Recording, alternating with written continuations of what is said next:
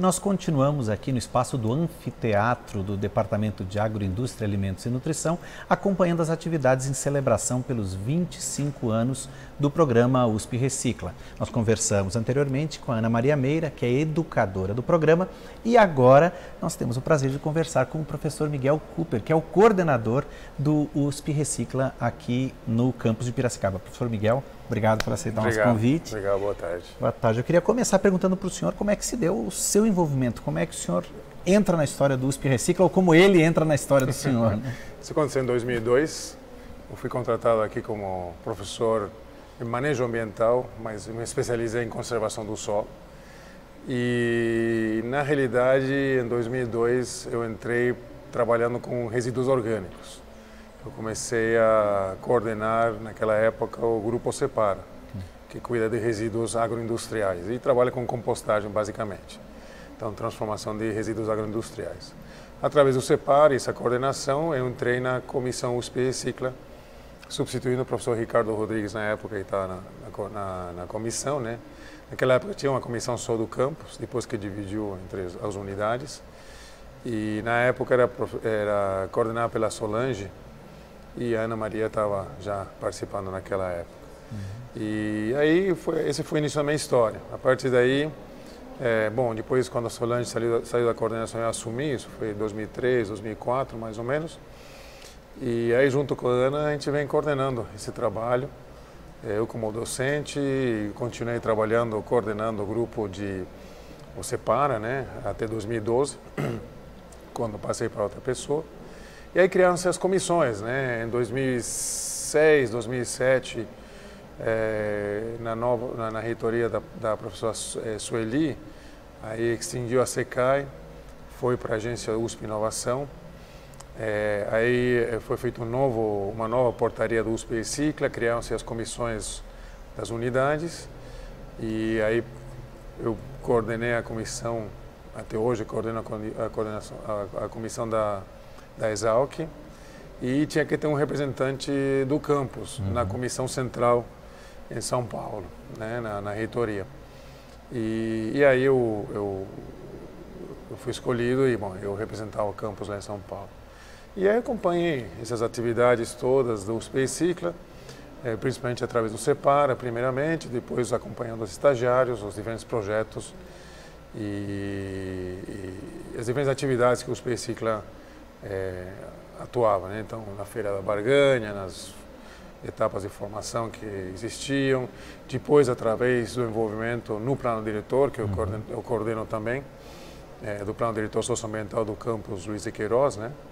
é, onde o USP Cicla foi, teve um grande, foi basicamente o, o, o, o pontapé inicial né, desse processo todo, e, e que culminou depois, é, mais recentemente, agora entre 2013 e 2016, na construção das políticas ambientais da USP, né, que foi tudo embrião, né, o embrião de todas essas, dessas atividades foi o, o programa USP Recicla. Né, então, é, desde 94, né, o programa USP Cicla vem trazendo para, para a USP, para, para nossas vidas todas, é, é, essa dimensão ambiental que, que a USP não tinha. Né? E isso foi crescendo ao longo do tempo, ramificando e é, articulando com outras iniciativas. Então, o USP Cicla, hoje em dia, eu acho que talvez seja o, o grande embrião, o grande motor, o grande articulador né, de, eh, de todas as ações ambientais que nós temos,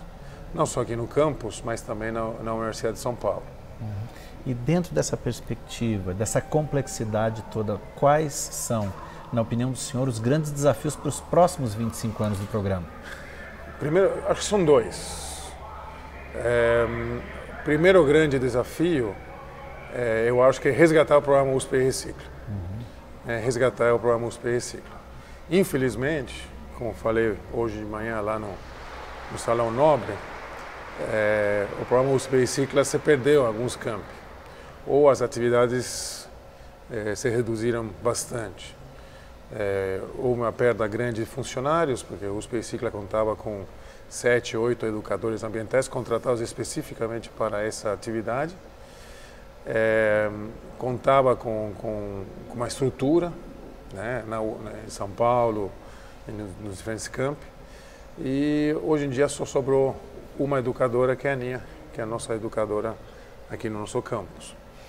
Então eu acho que é, eu acredito que e por toda a contribuição que o USP Recicla trouxe para a USP, principalmente na temática ambiental, eu acho que o primeiro grande desafio para os próximos 25 anos é recuperar e, e reinstaurar as atividades do USP Recicla na USP como um todo, né? E fortalecer aqui no nosso campus, né? O nosso campus está andando muito bem, graças ao esforço de várias pessoas, principalmente da, da Aninha, né? Que, que, que é a pessoa que cuida do programa aqui em, em Piracicaba. Mas, enfim, fortalecer e continuar investindo no programa. E nas outras unidades, nos outros campi, é, resgatar o programa USP Recicla. Então, para mim, esse é o primeiro grande desafio do programa, de resgatar ele. O segundo grande desafio do USP Recicla, para os próximos 25 anos, acho que é continuar na participação ativa na implementação das políticas ambientais da USP. É, nós temos as políticas feitas já, é, uma parte, de, principalmente a política que a gente chamou de guarda-chuva, já aprovada uhum. pelo Conselho Universitário, ainda precisa aprovar as políticas temáticas. Tem alguns planos de gestão dessas políticas já produzidas, mas não aprovadas ainda. Enfim, eu acho que é, precisamos, é, para que a, a USP se torne ambientalmente sustentável, adequada, vamos dizer assim, precisamos que essas políticas sejam implementadas né, sejam implementadas é, é, em todos os campos. Todos uhum. os campos. No nosso caso aqui, através do Plano Diretor Socioambiental, nós temos tido grandes avanços, né? É, não só através do USP Recicla, mas de outros grupos que existem que, tratando de questões ambientais aqui no campus. E, e, de certa forma, a gente não está tão ruim. Tem muita coisa para fazer ainda aqui em Piracicaba, mas é, a gente tem avançado muito nos últimos 10, 15 anos. Mas a gente espera que isso também aconteça na, aconteça na USP como um todo. Enfim, eu acho que esses são os dois grandes desafios: o resgate do USP Cicla, do programa USP Cicla, uhum.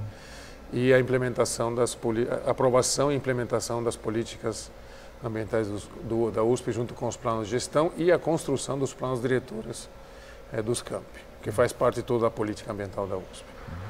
Bom, professor, em nome de toda a equipe da TV USP, parabéns muito pelos obrigado. 25 anos. Valeu, né? muito obrigado. E você continua acompanhando o trabalho do USP Recicla através da programação da TV USP.